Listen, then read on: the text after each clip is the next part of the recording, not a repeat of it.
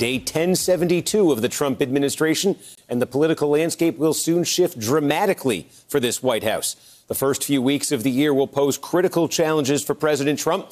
2020 is just days away, and the president is heading into the new year amid the biggest crisis of his presidency. He is facing an impeachment trial in the United States Senate. And tonight, senators are still awaiting the actual articles of impeachment from the House. Speaker Pelosi says she needs to know details about the trial process before she transmits those articles. Today, Pelosi sent out this tweet, quote, President Trump abused his power for his own personal gain.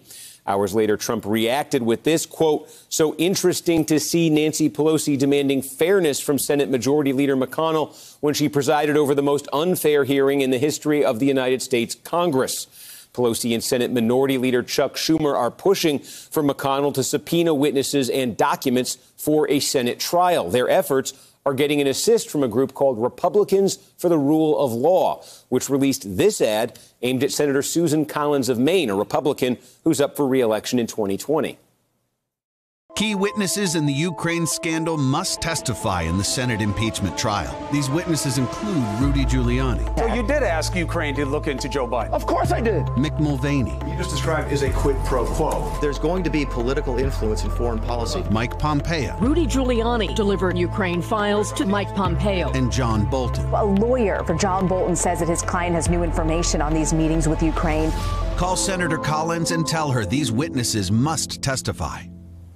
But some House Democrats want to make sure Senate Majority Leader Mitch McConnell is the main focus of the pressure to call witnesses.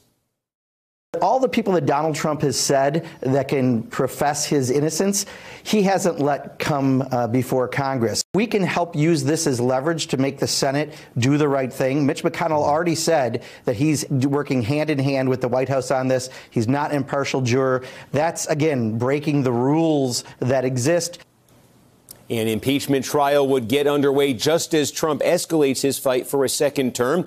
He's set to launch an Evangelicals for Trump coalition in Miami one week from tonight. That's on January 3rd, and then hold a rally six days later in Toledo, Ohio. While we've heard Trump trying out versions of a message based on keeping America great or promising voters that the best is yet to come, in recent weeks, he has used impeachment and investigations into his conduct to try to strike a chord with voters. Our opponents have spent every waking minute of the last three years trying to overthrow the election of 2016 and, at a minimum, to sabotage the election of 2020. The radical Democrats are trying to overturn the last election because they know that they cannot win the next election. After three years of sinister witch hunts, hoaxes, scams, Tonight, the House Democrats are trying to nullify the ballots of tens of millions of patriotic Americans. There is also a chance that the Iowa caucuses, which will take place on Monday, February 3rd, may collide with a Senate trial of President Trump.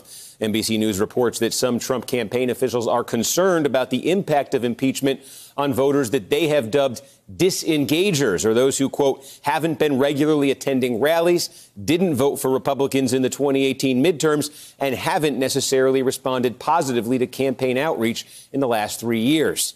Today, Bernie Sanders seemed to indicate that his campaign is aware that some of Trump's voters might be up for grabs. If you want to beat Trump, you're going to need a large voter turnout, and I think our campaign is that campaign. One day after the upcoming Iowa caucuses on February 4th, Trump is set to deliver his State of the Union address. We have seen this before. In January 1999, Bill Clinton delivered his State of the Union address while his impeachment trial was underway, but he did not mention his trial at all during his 77 minute speech. Trump, however, has been more than willing to discuss his impeachment and to openly question it. I'm the first person to ever get impeached, and there's no crime. I like I feel guilty. You know what they call it? Impeachment light. It's impeachment light. That's why, you know, with Richard Nixon, I just see it as a very dark era. Very dark, very, oh, you don't even like to think. I don't know about you, but I'm having a good time. It's crazy. So I'm not worried. I'm not worried because It's always good. When you don't do anything wrong, you get impeached. That may be a record that will last forever.